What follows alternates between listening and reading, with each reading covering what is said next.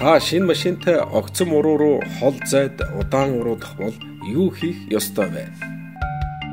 Өгсөж гарч ирсэн араанаас илүү хөндрүүлсэн араагаар уруудна.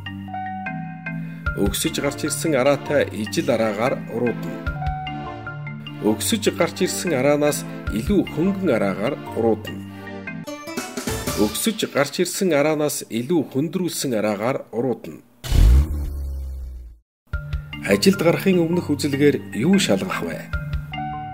Ачааны аюулгүй байдал, машины бүх гэрлийн бүрэн бүтэн байдал, дээрх хоёр хоёулаа.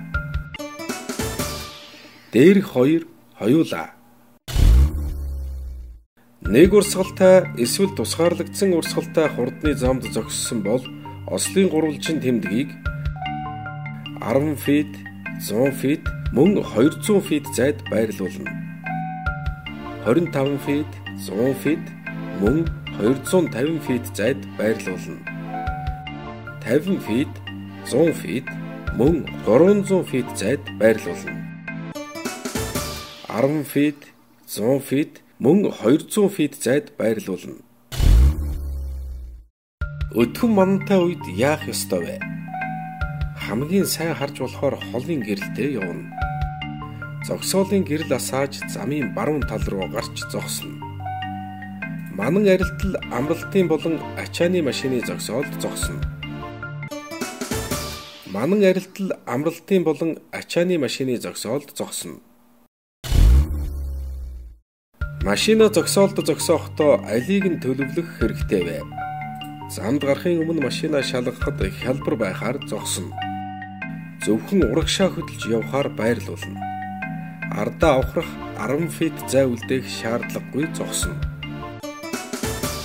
Зөвхөн урагшаа хөдөлж явхаар байрлуулна. Бодит жин гэж юуг ойлгох вэ? Тээврийн хэрэгсэл ба чиргүүлийн нийлбэр жин. Чиргүүл ба ачааны нийлбэр жин. Тээврийн хэрэгсэл чиргүүл мөн ачааны нийлбэр жин. Тээврийн хэрэгсэл чиргүүл мөн ачааны нийлбэр жин. Жолооч замд явахдаа өмнөө хэр хугацаанд туулах замыг ажиглаж явах вэ?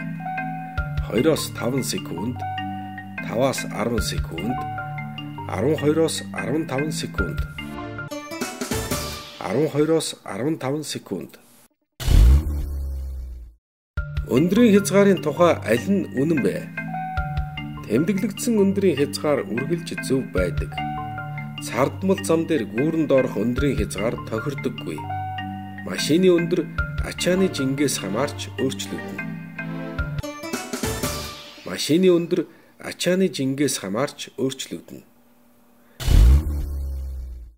Замд гарахын өмнөх үзэлгээр тоормос болон явахын дангийг шалгахад аль нь зөв вэ?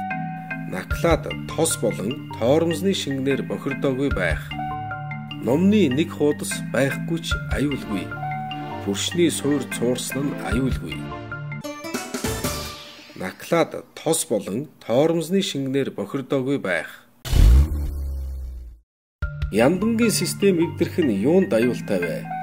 Дуу чимээ жолоочийн чихийг гимтэн, хор тутаа, хий жолоочийн бүхээг болон унтлагын бүхээгт орно.